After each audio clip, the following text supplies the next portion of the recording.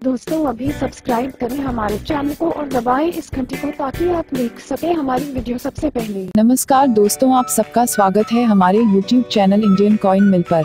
आज हम बात करेंगे पचास रूपए के सबसे कीमती नोट के बारे में। तो ऐसा कौन सा पचास रूपए का नोट है जो इतना कीमती है जानने के लिए इस वीडियो को पूरा अंत तक देखिए, ताकि आपको पूरी और सही जानकारी मिल सके।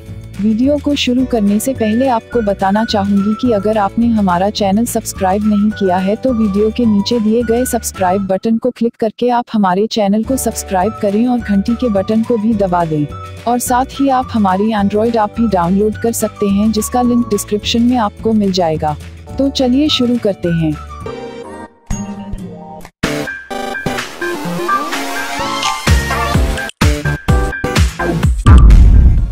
दोस्तों, ऐसे पचास रूपए के नोट तो आप सभी के घर में होंगे, पर आज के इस वीडियो में हम ऐसे पचास रूपए के नोट के बारे में बात करने वाले हैं जो सबसे कीमती है। दोस्तों, पचास रूपए के नोट के बनने की शुरुआत सबसे पहले ब्रिटिश इंडिया के समय में हुई थी। उस समय ज़्यादातर सिक्कों का ही चलन था।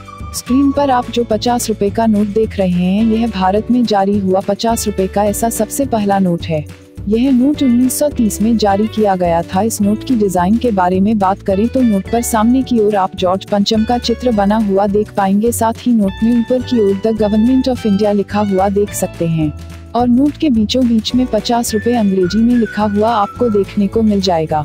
नोट के ऊपरी व निचले भाग पर आप नोट का सीरियल नंबर छपा हुआ देख सकते हैं। नोट के पिछले भाग की बात करें तो यहाँ पर कई सारी क्षेत्रीय भाषाओं में पचास रूपए लिखा गया है और नोट के बीचों बीच अंग्रेज़ी में पचास रूपए छपा हुआ है। तो अब बात करते हैं इस नोट की कीमत के बारे में। यह नोट यूएनसी कंडीशन में आपको दो से ढाई लाख रुपए तक दिला सकता है। तो अगर आपके पास भी कोई ऐसा नोट है तो आप हमें कमेंट बॉक्स में बता सकते हैं।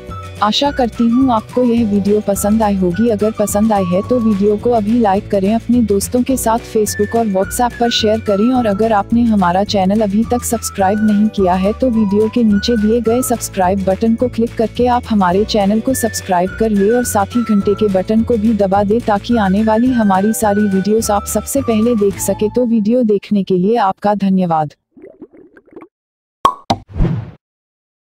Thank you.